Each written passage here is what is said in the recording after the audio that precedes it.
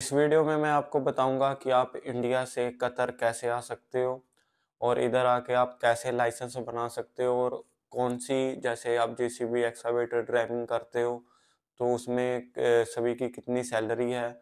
इस step by step आपको मैं सब बताऊँगा और आपको ये भी बताऊँगा कि आपको कतर में आना चाहिए या नहीं आना चाहिए, ये भी मैं आपको बताऊँगा। ये वीडियो हो सकता है 20 मिनट की हो 25 मिनट की हो, लेकिन इस वीडियो में मैं आपको सब आप जो मेरे को इंस्टाग्राम पर मैसेज करके जो मेरे से आप इंफॉर्मेशन लेना चाहते हो मैं सब कवर कर दूँगा इस एक वीडियो में।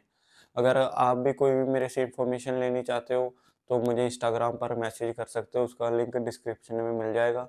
अ, मैं वहाँ पे सभी का रिप्लाई करता हूँ। अब आपने अगर कोई भी इंफॉर्मेशन लेनी है तो मेरे को वहाँ पे इंस्टाग्राम पर मैसेज कर लेना। होप आप सभी ठीक होंगे। चलिए ये वीडियो स्टार्ट करते हैं। पहले बात करते हैं कि आप इंडिया से कतर में कैसे आ सकते हो? अगर आप जे सी जेसीबी, एक्सावेटर या ड्राइविंग करते हो, उस काम में आपको सीधा उसी काम में ही आना है तो उसमें आप कैसे आ सकते हो? अगर आपका कोई भी रिलेटिव या फ्रेंड, कोई भी आपका कतर में है, वो आपको इंडिया से बुला सकता है, आपका वीज़ा निकलवा सकता है। अगर आप जेसीबी या ड्राइविंग या एक्सावेटर के काम में आप आना चाहते हो, जो वीज़े की कॉस्ट होती है, वो डेढ़ लाख से लेके दो लाख के बीच होती है। कुछ कंपनियाँ होती है जहाँ पे वो पाँच दस हज़ार तभी दे सकती है, पाँच दस हज़ार महँगा भी दे सकती हैं, लेकिन डेढ़ लाख के और दो लाख के बीच में इतनी कॉस्ट होती है वीजे की। एक बात मैं आपको और बता दूँ, कभी भी आप सस्ता वीज़ा मत लो। कुछ वीज़े हैं, बहुत सस्ते भी मिल जाते हैं। उसका क्या प्रॉब्लम होता है? जब आप कतर में आ जाओगे, उसके बाद आपका आईडी रीन्यू नहीं होगा तो बहुत सारी प्रॉब्लम आती है जब आप किसी एजेंट से सस्ता वीज़ा ले लेते हो।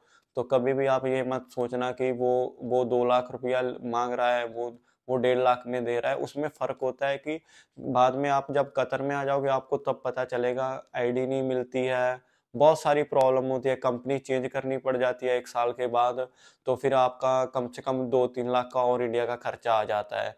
चेंज पेपर लेते हैं और दूसरी कंपनी में आईडी लगाते हैं, वो भी एक लाख, डेढ़ लाख से आपका और खर्चा आ जाएगा एक साल के बाद। से आप वीज़ा ले रहे हो, उससे ये बात बोल देना कि भाई अच्छी कंपनी का वीज़ा लेके दो, जो मेरा एक साल के बाद वीज़ा एक्सटेंड हो जाए, कोई प्रॉब्लम ना आए।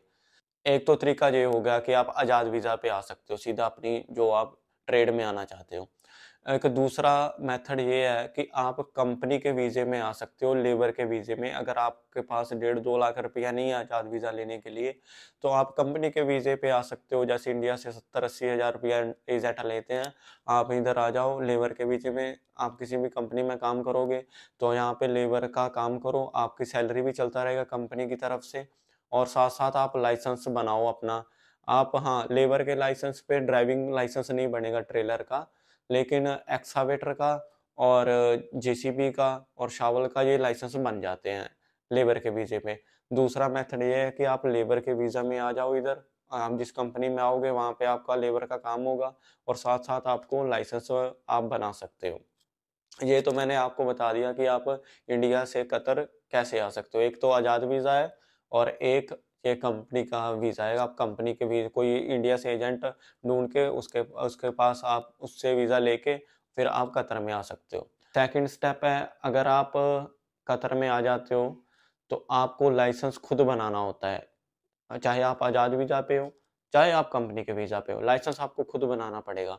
अगर आप जेसीबी का और एक्सावेटर का, शावल का, बॉबकैट का लाइसेंस बनाओगे, उसकी कॉस्ट इधर कम से कम चार हज़ार रियाल आपका खर्चा आ जाएगा। और इंडिया का वही अस्सी हज़ार रुपया होता है। अगर आप इधर आके जेसीबी का एक्सावेटर का और फोर्कलिफ्ट का और रूलर का लाइसेंस बनाते हो, ठीक है जी, आपको खुद बनाना होता है। चाहे आप इंडिया से कंपनी के वीज़े में भी आ जाएँगे तो आपको ये खुद बनाना पड़ेगा। और इसका जो लाइसेंस बनाने का प्रोसेस है, पहले आपका आई टेस्ट होगा और उसके बाद आपका कंप्यूटर क्लास होती है, सात दिन की, वहाँ पे आपको सिग्नल टेस्ट देना होता है, वो बहुत आसान होता है, उसमें कुछ नहीं होता, सिग्नल टेस्ट में ये होता है, ये राइट का साइड है, ये लेफ़्ट का टिक मार्क करनी होती है, कोई मुश्किल नहीं है। ठीक है, वो आपको स्कूल वाले ऐप बना के दे देंगे तो आप ऐप पे तैयारी करो, एक दिन आपका टेस्ट होगा, फिर उसके बाद आपका जब टेस्ट पास हो जाएगा, पंद्रह से बीस दिन आपको प्रैक्टिकल क्लास होगी, जिसमें आपको एक्सावेटर चलाना सिखाएँगे और जेसीबी के लाइसेंस के लिए आपको शावल पे ट्रेनिंग देंगे। शावल का ही बीस दिन का क्लास होगा। जब आप वो टेस्ट पास कर लोगे, आपका लाइसेंस बन जाएगा। एक बात और, अगर आप जेसीबी का लाइसेंस बनाते हो, उस पर एक लाइसेंस पे आप शावल भी चला सकते हो, जेसीबी भी चला सकते हो बॉब कैट भी चला सकते हो, टेलीहंडर भी चला सकते हो रूलर भी चला सकते हो। अगर आप एक्सावेटर का लाइसेंस बना रहे हो तो उस पर आप डोजर चला सकते हो और एक्सावेटर चला सकते हो, एक मशीन और होती है स्पल्ट कटिंग वाली, चैन वाली, वो चला सकते हो। अभी हम बात करेंगे कि इस लाइसेंस में बनाने में टाइम कितना लगता है। इस लाइसेंस को बनाने के लिए आप जेसीबी का या एक्सावेटर का बना रहे हो तो आपको कम से कम दो मंथ लग जाएँगे लाइसेंस बनाने के लिए। ठीक है जी? एक बात और, जब तक आप लाइसेंस नहीं बनाओगे, आपको कतर में, चाहे आप आज़ाद वीज़ा पे आ रहे हो, जब तक आप लाइसेंस नहीं बनाओगे, आपको कतर में कहीं भी काम नहीं मिलेगा। तो पहले आपको लाइसेंस बनाना होगा, फिर आप काम कर सकते हो। जब ये लाइसेंस आप बना लेते हो तो उसके बाद आपकी सैलरी स्टार्ट होता है। चाहे आप जेसीबी चलाते हो, चाहे एक्सावेटर चलाते हो, चाहे रूलर चलाते हो इनका सभी का तकरीबन तकरीबन सैलरी आज़ाद वीज़ा पे सेम ही होता है। मान के चलिए पच्चीस सौ से लेके तीन हज़ार रियाल होता है एक मंथ का। इंडिया का वो पचास, साठ हज़ार से आपसे स्टार्टिंग हो जाएगी। चाहे आप दस साल पुराना इधर ऑपरेटर है, चाहे आप नए नए आ रहे हो, सभी का सैलरी सेम होता है। ये नहीं है कि फ्रेशर का सैलरी कम होगा और जो इधर दस साल काम कर रहा है, उसका ज़्यादा होगा, ऐसा कुछ नहीं है। सबका सैलरी सेम है। तो कुछ मेरे को मैसेज आते हैं, भाई हंडाई की मशीन पे कितना सैलरी मिलता है? और हटैची की मशीन पे वॉलपो की मशीन पे भाई, ऐसा कंपनी का इधर कोई सिस्टम नहीं है। आपको मशीन चलानी, आनी चाहिए, वो किसी भी कंपनी को, सभी का सैलरी सेम होता है। अगर आप इधर आके ट्रेलर का लाइसेंस बनाओगे, ट्रेलर के लाइसेंस पे आपको वही सिग्नल टेस्ट देना पड़ेगा लाइसेंस के लिए और वो आपका सिग्नल टेस्ट पास होगा, फिर आपकी एल की क्लास होगी पंद्रह बीस दिन की, वो पास हो जाएगी, फिर आपका रोड का टेस्ट होगा पंद्रह बीस दिन क्लास होगी, उसके बाद आप रोड टेस्ट दे दोगे तो आपका लाइसेंस बन जाएगा। और जो ट्रेलर का लाइसेंस है, इसमें बनाने में कम से कम छः मंथ आराम से लग जाते हैं छः मंथ में ये लाइसेंस बनता है।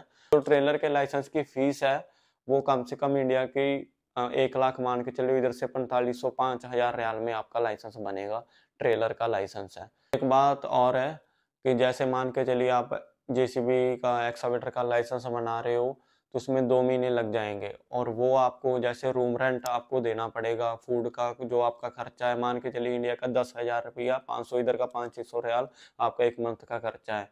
और अगर आप ट्रेलर का लाइसेंस बना रहे हो तो कम से कम आपको छः महीने का आपको रेंट पे करना पड़ेगा।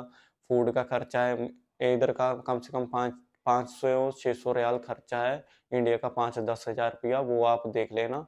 आपको उतना टाइम आपको पे करना पड़ेगा रूम रेंट खाने का। तो जब आपका लाइसेंस बनेगा, तब आप काम कर सकते हो। अगर आप आज़ाद वीज़ा पे हो, जितना टाइम आप लाइसेंस बना रहे हो, आप कोई भी काम कर सकते हो। आपके पास आईडी होनी चाहिए। आप किसी शॉप में भी काम कर सकते हो। और अगर आपको ये घर पेंट वगैरह करना तो आप ये भी कर सकते हो, लेबर का काम भी कर सकते हो। अगर आपके आपके पास आईडी है साथ साथ काम करो साथ साथ लाइसेंस बनाओ, आप ये ये भी काम कर सकते हो। अगर आप आज़ाद वीज़ा पे हो तो आपको एक साल के बाद आपको अपनी आईडी वर्क परमिट रीन्यू करना होगा। जिसका इधर का तीन हज़ार रियाल लगता है इंडिया का साठ हज़ार रुपया खर्चा आ जाता है, वो एक साल के बाद आपको देना पड़ेगा जब आप आज़ाद वीज़ा पे काम करते हो। आज़ाद वीज़ा पे आपको खुद ही काम ढूंढना पड़ता है, सब कुछ खुद करना होता है। हाँ आज़ाद वीज़ा पे ये है कि आपको कहीं अच्छी सैलरी मिलती है, आप काम स्विच कर सकते हो। हाँ भी मैं उसके साथ काम करूँगा। ऐसा होता है और आप इंडिया भी जब आपका दिल करे, आप जा सकते हो। अगर आप कंपनी में काम करते हो, कंपनी में आपका जो एग्रीमेंट हो गया, उसी पे ही आपको काम करना होगा। कंपनी में ये अच्छा होता है कि आपको एक साल के बाद वर्क परमिट रीन्यू करवाने की ज़रूरत नहीं है, कंपनी खुद ही कर देती है।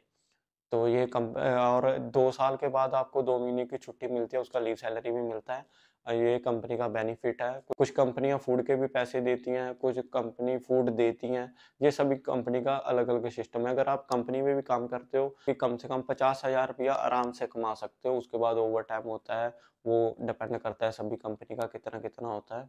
एक मेरे से बहुत ज़्यादा क्वेश्चन पूछा जाता है कि हम फ्रेशर हैं, हमें कोई ऐसी कंपनी बताओ जो हमें इंडिया से फ्री में बुला ले और इधर आके हमारा फ्री में लाइसेंस बना दे। भाई, ऐसी कोई कंपनी नहीं है कतर में जो आपको इंडिया से लेके आएगी, इधर आपका लाइसेंस बनाएगी। क्योंकि इधर से ऑलरेडी कतर से बहुत सारे आदमी हैं जो चार साल, दो साल काम करके इंडिया में गए हैं।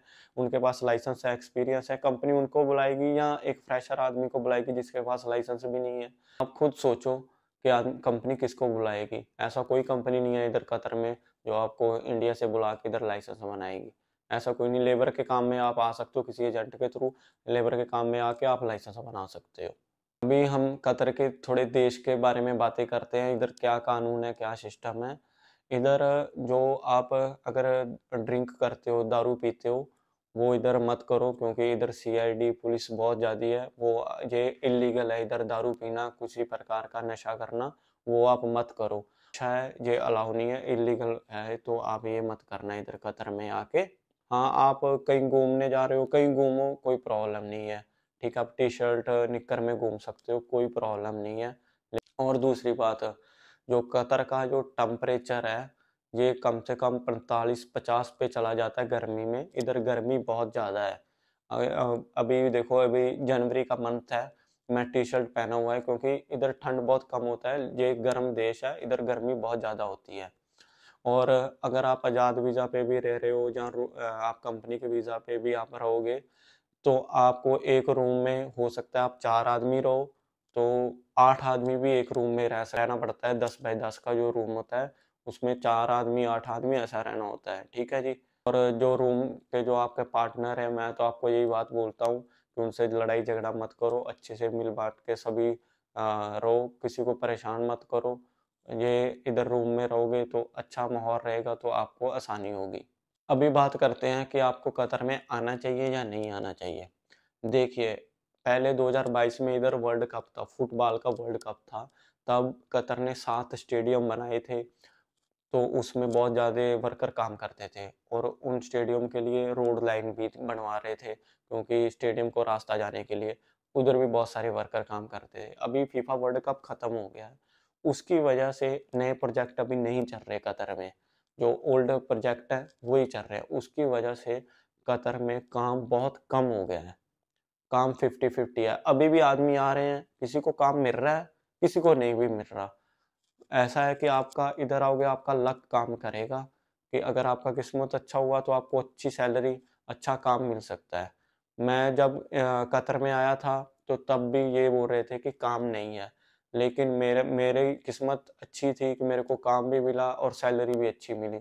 मेरे एक दो तीन फ्रेंड थे, उनको काम अच्छा नहीं मिला तो वो इंडिया चले गए वापस। ये बात नहीं है कि इधर आप आओगे तो आपको काम मिलेगा। आप, मैंने बोल दिया कि इसका इतना सैलरी इतना सैलरी अभी ठीक है, आदमी कैलकुलेट करने लग जाता है इंडिया में। हाँ भाई, मैं तो जान सार पचास हज़ार रुपया कमा लूँगा, ऐसा कुछ नहीं है। इधर आके आपको काम खुद ढूंढना होता है और सब आपकी जो भी टेंशन है वो खुद आपको लेनी पड़ेगी ठीक है? और को, कोई आपका कांटेक्ट में है वो आपकी हेल्प भी कर देता है क्योंकि जो आदमी पुराना होता है तो उसके पास थोड़ा पता होता है ना तो वो आपको काम पे लगवा सकता है। लेकिन हाँ आपको फिफ्टी फिफ्टी मैं बोलता हूँ कि अभी भी आदमी जनवरी में भी आदमी आ रहे हैं लाइसेंस बना रहे हैं किसी को काम मिल रहा है किसी को नहीं काम मिल रहा वो आप खुद देख के आना है कि आपको जाना है या नहीं जाना है। ठीक है, मैं तो आपको ये बात बोलूँगा कि आप अगर कतर में आते हो तो अपना माइंड सेट करके आना भाई, इधर बहुत सारी स्ट्रगल है, ठीक है? इधर बहुत स्ट्रगल है, ऐसा नहीं है कि बस ठीक है, उधर जाके काम कर लिया, बस सैलरी कमा लिया, इधर काम काम आपको ढूंढना पड़ेगा, बहुत सारी स्ट्रगल है, ठीक है? तो ये आप सब बातें ध्यान में रखना, ओके जी? आपने अगर कोई भी मेरे से इंफॉर्मेशन लेनी है तो मुझे इंस्टाग्राम पर फॉलो कर लेना, वहाँ पे मुझे मैसेज कर देना, ठीक है जी? और आप सभी का धन्यवाद जहाँ तक वीडियो देखने के लिए।